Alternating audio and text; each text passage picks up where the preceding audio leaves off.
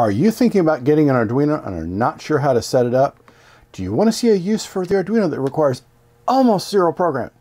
Well, stay tuned and I'm going to show you how to do this. Welcome to another edition of Tech Bytes with Ron Nutter, your home for all things relating to smart home technology.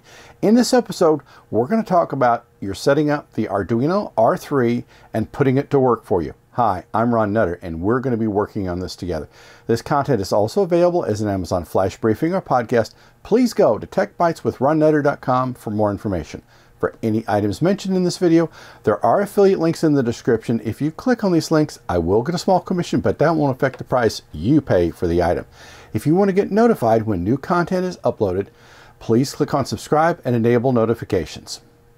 Now here's what we're going to be covering in this video, and that's setting up your Arduino R3 and putting it to work for you. First, the required parts, and something you probably didn't see coming, setting up the Arduino as a crypto miner. And yes, folks, it can be done.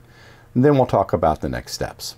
Well, now this is a video you probably didn't see coming, but you, you'll you'll see the method to the madness as we get through. Now, to get this up and running, all you've got to have from a hardware standpoint is the Arduino R3. Now I've got one from Elegoo. It's one of the clones. It's worked just fine. It was a matter of what was available at the time I placed my order. You with the uh, with the Elegoo, and not all of these, but with the Elegoo, you will get a cable, a little bit different from this one, that will go from the USB port A that's on here to your computer, whether it's Linux or Windows.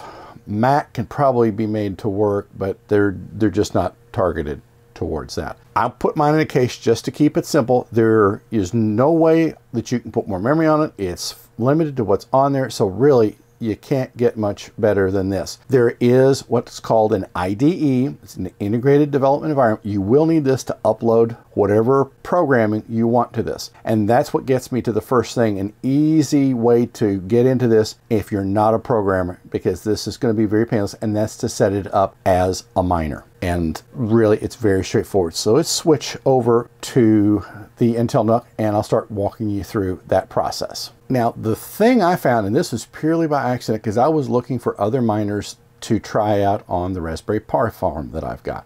And then with getting the Arduino, I said, there's got to be a way that I can get this to work. I found one coin, and it's the one you see up here on screen, this Duino coin. I'm going to stress again, you are not going to get rich doing this, but it's an interesting experience, and over time, who knows? And they support a multiple platforms here. So as you can see, they've got, you can mine with your Windows computer, you can do Linux, AVR, and that's Arduino or the, uh, you know, of the, of the compatible line, Raspberry Pi, ESP8266, and other devices which involves using a web interface. So there's really quite a bit to do. You can download the client here. Well, not really the client, the software. I'm sorry. You'll have to bear with me. I, I think in terms of client. There is an account you will have to create, and as you've heard me preach before, use a different login for everything password and the whole deal because the hassle you save is going to be yours. There is an, I'm going to show you another way to do it past what they have here and it's going to walk you through the mining. Now this is the PC miner. We'll get into this and this is the part where you will set up the Arduino and we'll go over that in, in just a second here. But you'll want to get the Arduino IDE and then once you've got that you can go back up here and if you're running a Windows machine which is what I've got this being hosted to then you will get that, download it, extract it, and then you'll be one step closer.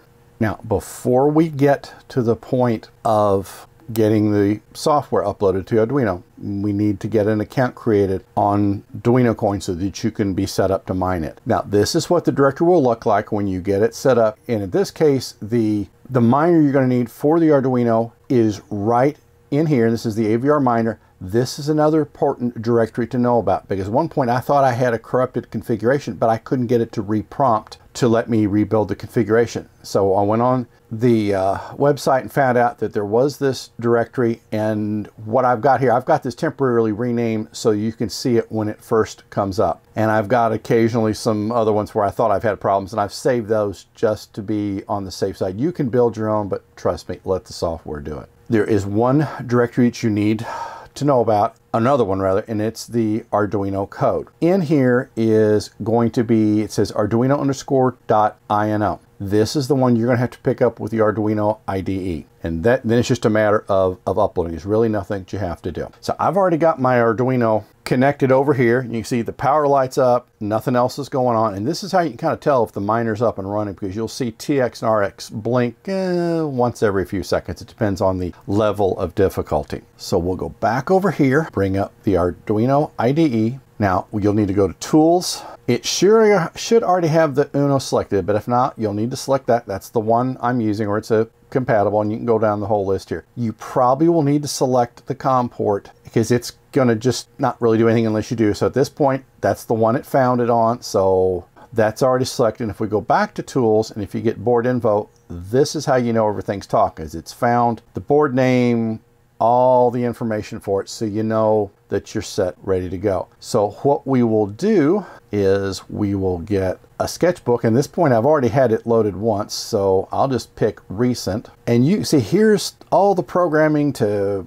make it work. But the best part is you didn't have to do this. The the folks at Duino Coin really did this one right. So what you'll want to do is you will click on the right arrow and it's going to compile it and then it's in the process of uploading it and that's it. So really you, you can't make it any easier than that. So what we will go is now we'll back over to the directory where it says AVR miner and we'll just double click on that. Don't double click on the name. That was where I made that mistake. And see it asks for your username so we'll just call this temp user that user doesn't exist. Now it's found the Arduino, so we need to, if, with it being on Windows, we will just enter COM3 because it shows you how it needs to have it entered. And if it's on Linux, you have to enter the, the different syntax. Do we want to add another board? Now this is where if you're going to run multiple Arduinos, and that's something I'm looking to do. I'm just curious to see how it works, how it's going to multitask talking to the different boards because it's they don't take that much power to run. But that's other than that, you would just say no. We will see. We want to select a higher level of difficulty.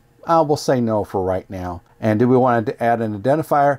This is handy when you go to the Duino Coin website or if you get the app for your smartphone that you can tell what rig it's actually using to report. So if you do have more than one. So we'll say yes, and we'll just call this R3. And we can say yes to donate because you know it's not going to hurt you that much. And then this is where it gets ready to start setting up the connection. Now I switch back over to the working configuration that I've got, and it takes sometimes just a few seconds for it to start making contact with the mothership. And don't worry if you see this red line where it says error connecting to server. The first time or two, it just seems to error out. Now, sometimes it'll take right off. Sometimes it just takes a while. So it's just a matter of being patient. And when you see this message, that means it's gotten contact with the, the Duino Coin server and the thread starting up. And this is what you can expect to see when things are working. So it's working pretty good clip. Let's switch over to demo cam. You can see what the lights should look like. And so generally that, that indicates that, that the miner is active. You can't monitor the serial line on this one because we're using that to talk between the AVR app on the computer and that. So that's the one downside. But at least you can see it is up and running. Occasionally you may get one that's declined, but you know, it's just a process to, to go through. Now, if we go over here and if we go wallet and we will click login, this is a way for you to keep track of what's going on. As you can see, here's Uno. That's the one that's running like a champ right now. We call it Uno 1, which is the name I normally have run with it. And this gives you what you'd expect to make in profit per day, the balance you've got in your account, and you can transfer using some other exchanges. You've got to hit a certain level. This at least gives you an option to get used to how to upload the to the Arduino. Like you said, there, you saw there was no configuration to, you just have to upload the code and then the AVR components you run here actually takes care of the rest. That's got it up and running. The There are two other ways that you can get this configured. Now, right now I've got it on a USB connection to the computer that I've got the AVR application running on. You can supposedly, I say supposedly because I haven't done this yet, I've got parts on the way. You can set this up to run with a wireless module and it's going to take a little bit of wiring so that may not be for everybody. I've got one of those on the way and I'm going to give that a try. There is also a shield that you can get that will go right on top of this and gives you an RJ45. Now there will be some additional changes that we have to make when we upload the code because we have to include the libraries so that it knows how to talk to the network card. Now that would free up the tether line to your computer, but then would let you use that as a monitoring component to see what's going on. What's what I've read should happen. Again, I've got various pieces, parts on the way, so we can do that. But you can see this is really a, a very different item to, to work with. It's, you can get into mining. Granted, I guess I'm gonna say this several times, you're not gonna get rich, but you, for those of you who like to work with statistics, then you can see, you know, what the results are, if you want to, I mean, you may run multiples. I'm going to try to run a second one. Just, I want to see it work just because I can. And you're talking uh, between the Uno R3 that I've got and the case it was like about 20 bucks. So I can afford to run several of these because it's not going to take that much power. And it just, I'm just curious. But at that way it gets you one step in the process. Now, the other thing that you will need to have, and let's see, did I leave it running? No, I didn't. Well, we can get over here. One thing you will need to get a little bit comfortable with is the Arduino IDE. And this is just going to be what you're going to have to do to get things configured. You have some diagnostics. Now, for example, if I have the serial monitor, that's and see if I try to issue this right now, it's going to say serial port in use. That's because the AVR miner is actually talking to it. If we stop the AVR miner, then I would expect it to be able to get in. So let's just go ahead and stop it. And let's go back to tools serial monitor. Bingo. See, now that works, but we've got no way to really see what's going on because the program it's talking to is stopped. But this is where when you've got the Ethernet shield on it, then you can watch to see what's going on. So it's just all a, a part of the process. So the next steps, I'm going to try the wired one. And if I'm feeling exceptionally lucky, then I'm going to try the wireless one because if I can keep from chewing up Ethernet ports, I'm all for that. Now, since this doesn't support PoE in the way it's shipped, you're going to have to put a power supply on it when you are trying to drive it without the computer handling the, the AVR component. If you are going to use serial on monitor, then it should still pick up its power through that. But if you're trying to run it totally headless and not connected to anything, you're going to have to put a power supply. So there's that part to consider. There are a whole host of components available and I'm already looking to order some of these because there's all sorts of sensors and everything that yield some of the flexibility of what the Arduino is capable of. Now, some of this is going to get into a little bit of programming, and I'm looking at one option right now that will let you get into that, but it kind of walks you through. It has a series of, of lessons, as, as the terminology they use it. That's the folks at Elegoo. I'm, I'm waiting to hear back from them right now and see about getting those on the way because there's a host of sensors and you can make your own pieces, parts of this and make it that much more that you can learn about single board computers and make it one more thing that it'd be very handy to have in your smart home. If you're watching this on YouTube, you will see videos on the screen that are similar to the one you've just watched or other content that YouTube thinks you might be interested in. If this video helps you or provides value, please click on that like button, thumbs up. If you haven't already subscribed to the channel, please click on subscribe now and enable notifications. We'll see you in the next episode. Thanks for watching.